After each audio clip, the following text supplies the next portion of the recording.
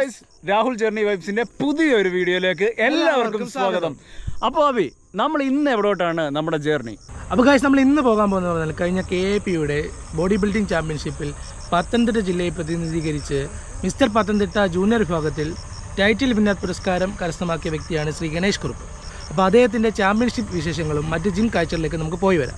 അപ്പോൾ ആദ്യമായിട്ട് നമ്മുടെ ചാനൽ കാണുന്നതെങ്കിൽ നമ്മുടെ ചാനൽ ഒന്ന് സബ്സ്ക്രൈബ് ചെയ്ത് ഒന്ന് സപ്പോർട്ട് ചെയ്തേക്കണം കേട്ടോ. അപ്പോൾ വീഡിയോ കണ്ടിട്ട് തിരിച്ചു വരാം. അപ്പം പുതിയതായിട്ട് വരുന്ന പിള്ളേരോട് പറയാനുള്ളത് നല്ല നല്ലൊരു ശരീരം ഉണ്ടാക്കുക. അതിനുശേഷം നിങ്ങൾക്ക് വേണം താല്പര്യം എന്നുണ്ടെങ്കിൽ മാത്രം കോമ്പറ്റീഷൻ ലെവലിലേക്ക് ചെയ്യുക. അല്ലെങ്കിൽ നമ്മൾ ശരീരം ഫിറ്റാക്കി നമ്മൾ എപ്പോഴും സൂക്ഷിക്കുക. അതാണ് വളരെ നല്ലൊരു കാര്യം. നല്ല ശരീരം ഉണ്ടെങ്കിൽ മാത്രമേ നമുക്ക് അധികം നാൾ ജീവിക്കാനായിട്ട് സാധിക്കത്തുള്ളൂ. അതായത് പുറത്തു നിന്നൊക്കെ ഒരുപാട് കഴിക്കും വീട്ടിൽ നിന്ന് കഴിക്കത്തേ ഇല്ലായിരുന്നു. വീട്ടിൽ നിന്നൊക്കെ ഒരു നേരം മാത്രമേ ഉള്ളായിരുന്നു. ബാക്കിയെല്ലാം പുറത്തു നിന്നൊക്കെ ആയിരുന്നു. ജങ്ക് ഫുഡുകളെല്ലാം ധാരാളം കഴിക്കുമായിരുന്നു. പിന്നെ ബേക്കറി ഐറ്റംസ് ഇപ്പൊ ഒന്നും ഉപയോഗിക്കാറില്ല. ഇല്ല ഇല്ല ഒന്നും ഉപയോഗിക്കാറില്ല. അപ്പോൾ ഞാൻ വർക്കൗട്ട് ചെയ്യുന്നത് നമ്മുടെ ചെങ്ങന്നൂരിലെ പുത്തങ്കാവിലെ ഫിറ്റ്നേഷൻ എന്ന് പറഞ്ഞ ജിമ്മിലാണ് കിഷോർ രാജു എന്ന ആളാണ് എന്നെ കോച്ച് ചെയ്ത് കോമ്പറ്റീഷൻ ലെവലിലേക്ക് ചെയ്യിക്കുന്നത്.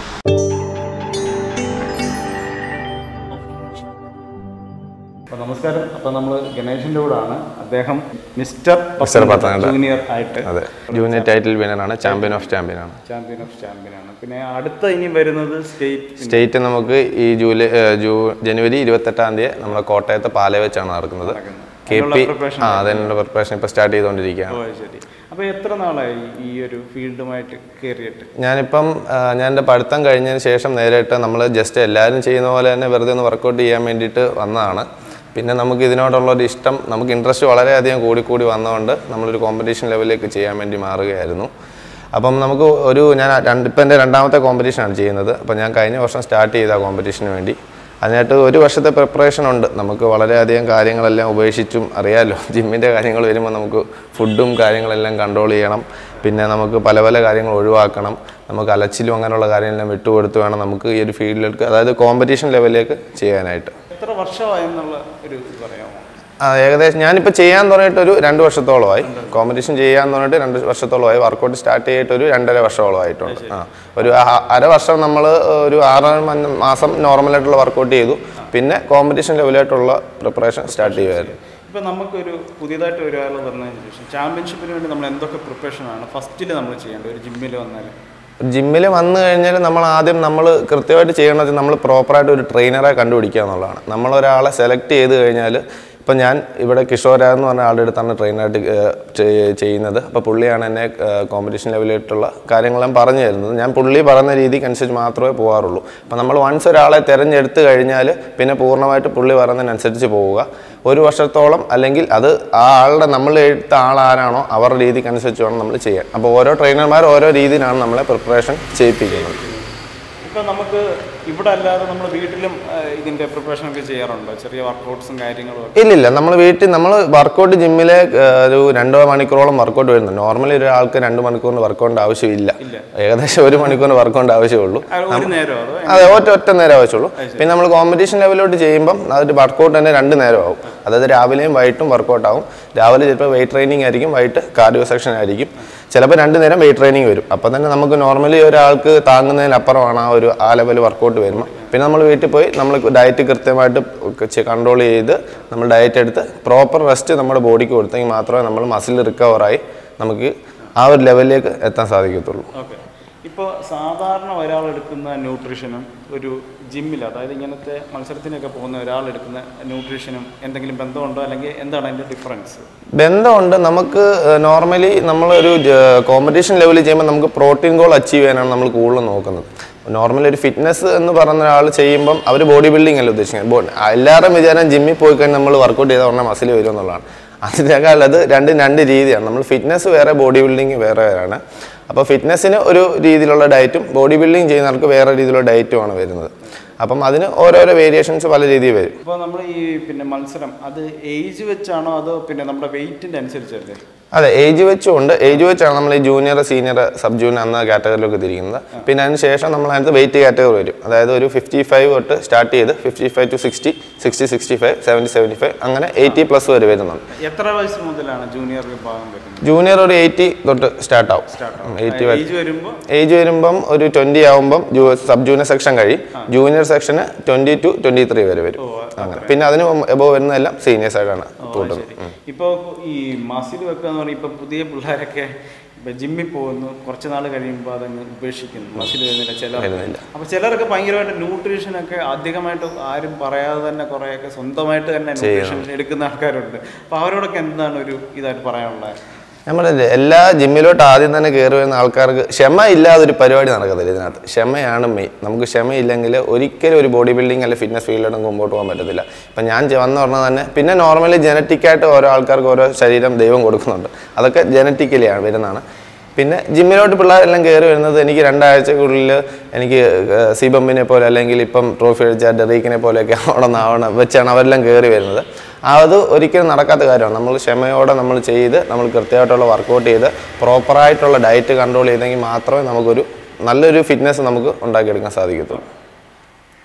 അപ്പൊ ഇത്രയും നമ്മൾ മത്സരത്തിനൊക്കെ പോയി നമുക്കിപ്പോൾ ഒരു പ്രൈസ് കിട്ടി. ഏഹ് അപ്പൊ ഇതിന് ഇത്രയും എന്തും വേണ്ടി പൈസ ചിലവായിട്ടുണ്ട് ഏകദേശം ഒരു ഏകദേശം നമുക്ക് ഇങ്ങനെ കാൽക്കുലേറ്റ് ചെയ്യാൻ പറ്റത്തില്ല. കാരണം നമ്മൾ ഡെയിലി ഡെയിലി ഇങ്ങനെ നമുക്ക് ചിലവുകൾ വന്നുകൊണ്ടിരിക്കുകയാണ് വളരെ ചിലവുള്ളൊരു ഫീൽഡ് തന്നെയാണിത്.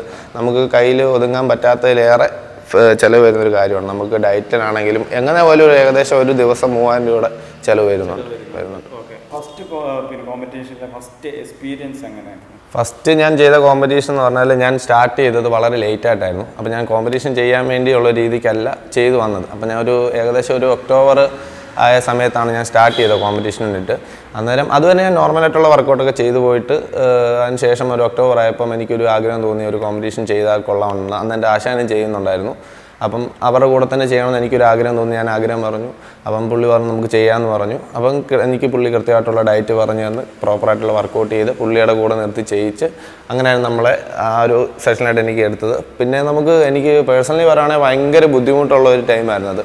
കാരണം ആ ഒരു മൂന്നാൽ മാസം നോർമലി ഒരു പ്രിപ്പറേഷൻ തുടങ്ങുന്നത് വൺ ഇയറിലേക്കാണ് വൺ ഇയറിലും അതിന് മേലോട്ടും പോകും പിന്നെ ഞാൻ അത്രയും ലേറ്റായിട്ട് തുടങ്ങിയിട്ടും എനിക്ക് ഭയങ്കര ബുദ്ധിമുട്ടുള്ള ഒരു സെക്ഷൻ ആയിരുന്നു. എന്നാലും ആ ഒരു കുറച്ച് നാലഞ്ച് മാസം കാരണം നമുക്ക് മെന്റലി ആണെങ്കിലും ഫിസിക്കലി ആണെങ്കിലും ഭയങ്കര ബുദ്ധിമുട്ടുണ്ടാകുന്ന ഒരു സമയമാണ്. കാരണം നമ്മുടെ ടെസ്റ്റോസ്റ്ററോൺ ഒക്കെ ഭയങ്കരമായിട്ട് ഹൈ ലെവലായിട്ട് നിൽക്കുന്ന ഒരു ടൈമാണ് ആ ഒരു കോമ്പറ്റീഷനിലെ ലാസ്റ്റ് ഡേ ഒരു ടൈമൊക്കെ ആകുമ്പോഴത്തേക്ക്. അപ്പോൾ നമുക്ക് ഭയങ്കരമായിട്ട് ഡിപ്പ എന്താ പറയുക ഡിപ്രഷനിലോട്ടും പിന്നെ നമുക്ക് അങ്ങനെ ഭയങ്കര മെന്റലി ഒക്കെ ഭയങ്കര ബുദ്ധിമുട്ട് വരുന്നൊരു ടൈമാണ് അതിനെല്ലാം കടത്തി വെട്ടിക്കൊണ്ടാണ് ഞാൻ ആ ഒരു കോമ്പറ്റീഷൻ ചെയ്ത് ഒരു ടൈറ്റിൽ അടിക്കുക അടിക്കാൻ എനിക്ക് സാധിച്ചത്. നമ്മുടെ ഈ ഒരു ബോഡി ബിൽഡിംഗ് എങ്ങനെയാണ് ഇഷ്ടപ്പെട്ടത്? അല്ലെങ്കിൽ ആരെങ്കിലും കണ്ടിട്ടാണോ? എങ്ങനെയാണ് മോട്ടിവേഷൻ കിട്ടിയത് ഇതിനായിട്ട് മോട്ടിവേഷൻ എന്ന് പറഞ്ഞാൽ ഞാൻ പറഞ്ഞില്ല ഞാൻ വർക്കൗട്ട് നോർമലായിട്ട് സ്റ്റാർട്ട് ചെയ്തു. അതിനുശേഷം ഞങ്ങളുടെ ജിമ്മിലെ കിഷോറേട്ടനും വേറെ ആളുകൂടെ ഇവിടെ കോമ്പറ്റീഷൻ ചെയ്യുന്നുണ്ടായിരുന്നു.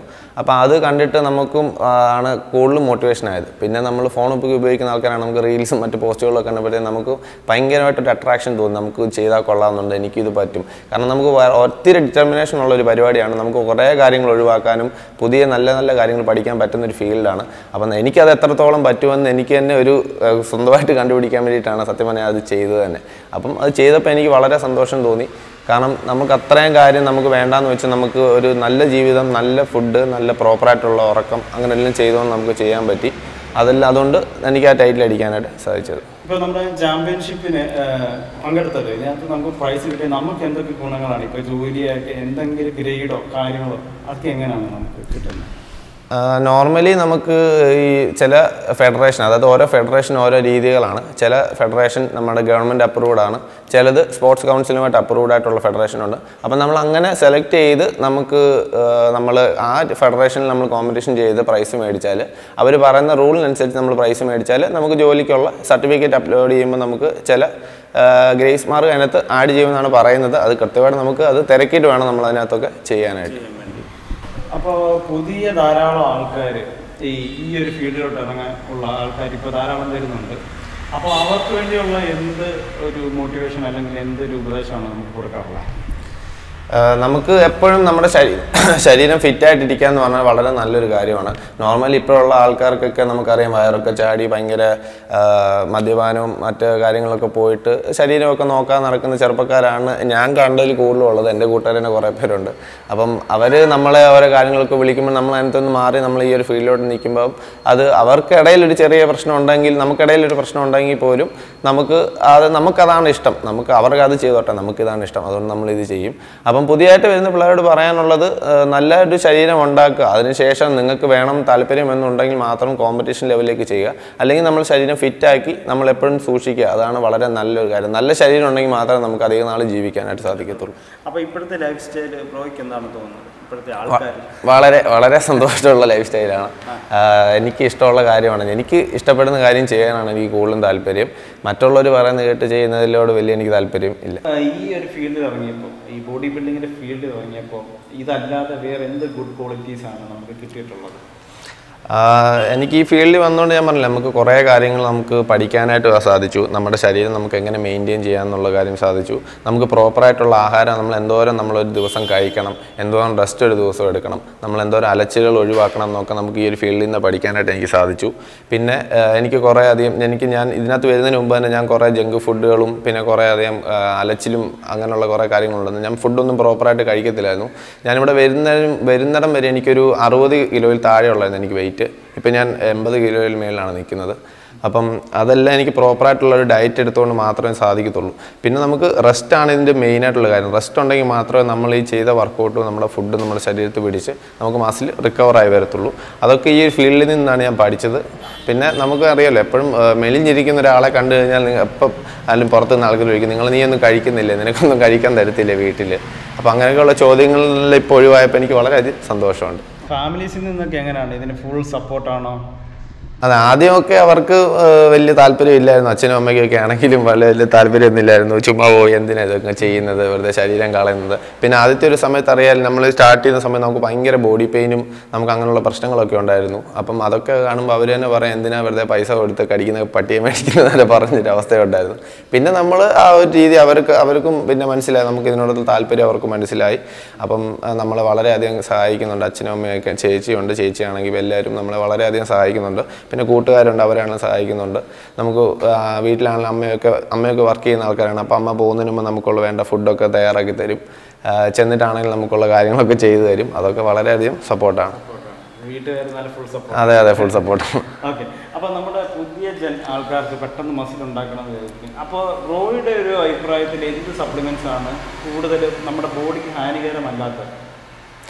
അത് നമ്മൾ ഞാൻ പറഞ്ഞില്ല നോർമലായിട്ട് നമുക്ക് എത്ര കഷ്ടപ്പെട്ടെന്ന് പറഞ്ഞാലും നമ്മൾ ടൈം എടുക്കാതെ നമുക്ക് ഒരിക്കലും മസിൽ ഉണ്ടാകത്തില്ല. നമ്മൾ മസിൽ ഉണ്ടാവണമെങ്കിൽ നമ്മൾ പ്രോപ്പറായിട്ടുള്ള വർക്കൗട്ട് ചെയ്യുക ബോഡിക്ക് വേണ്ട റെസ്റ്റ് കൊടുക്കുക പിന്നെ നമ്മൾ പ്രോപ്പറായിട്ടുള്ള നമ്മുടെ പ്രോട്ടീൻ ഗോൾ നമുക്ക് എത്രയാണോ പ്രോട്ടീൻ എടുക്കേണ്ടത് നമ്മൾ ട്രെയിനറെ അടുത്ത് ചോദിച്ച് മനസ്സിലാക്കി അവിടെ നമ്മൾ ആ പ്രോട്ടീൻ ഗോൾ എടുക്കാനായിട്ട് നമ്മൾ ശ്രമിക്കണം. പിന്നെ വേണ്ട റെസ്റ്റ് ശരീരത്തിന് കൊടുത്തെങ്കിൽ മാത്രമേ നമ്മുടെ ശരീരം റിക്കവർ ആവത്തുള്ളൂ. റിക്കവർ ആയെങ്കിൽ മാത്രമേ നമുക്കവിടെ മസിൽ ഗ്രോത്ത് ഉണ്ടാവത്തുള്ളൂ.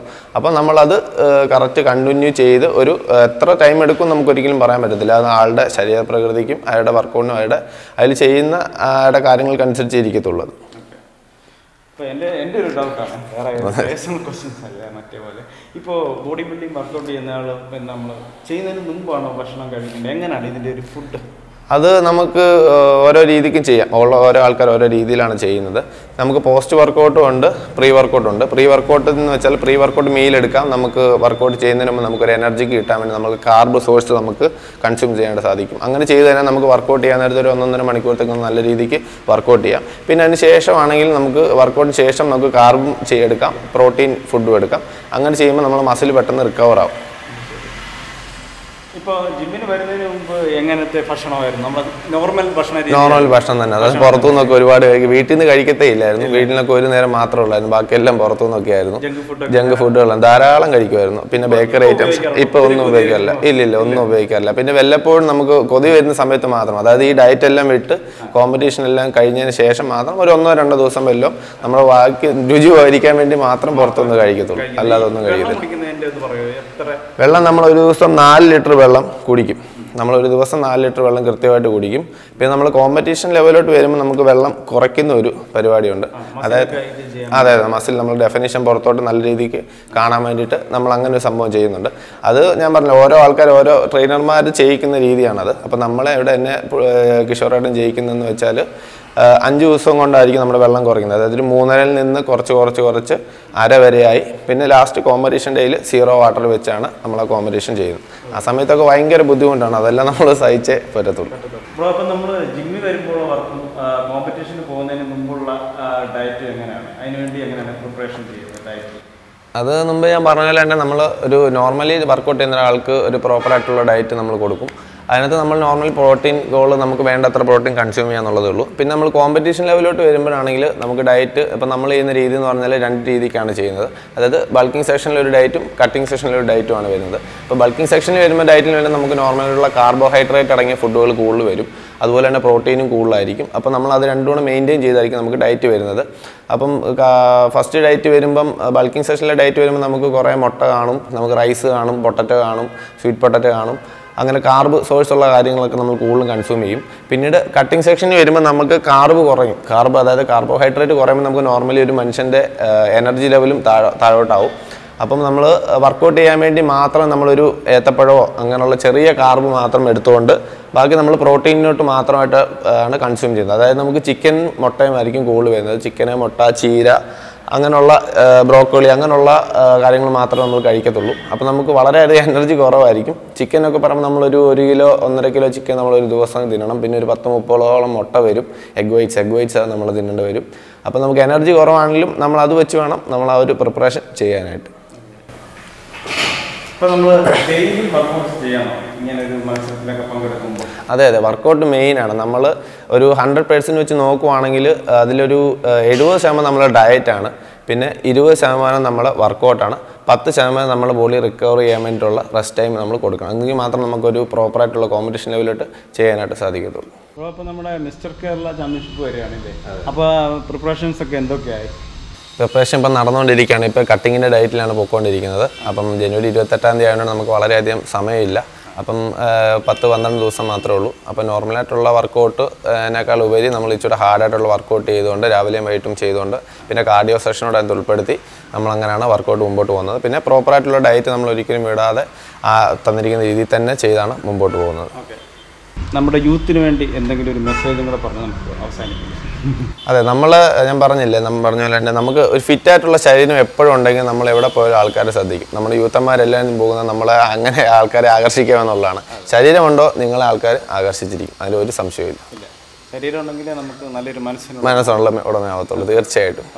അപ്പം മിസ്റ്റർ പത്തനംതിട്ടയ്ക്കുള്ള എല്ലാവിധ ആശംസകളും ഞാനും എന്റെ ചാനലും വളരെ സന്തോഷം. നമുക്ക് അതിനകത്ത് വിൻ ചെയ്യട്ടെ? നമ്മുടെ നാടിന്റെ ഒരു അഭിമാനം ആശംസിക്കുകയാണ്. ഇനിയും കൂടുതൽ അതായത് മിസ്റ്റർ ഇന്ത്യ മിസ്റ്റർ അങ്ങനെ കിടക്കുകയാണ്.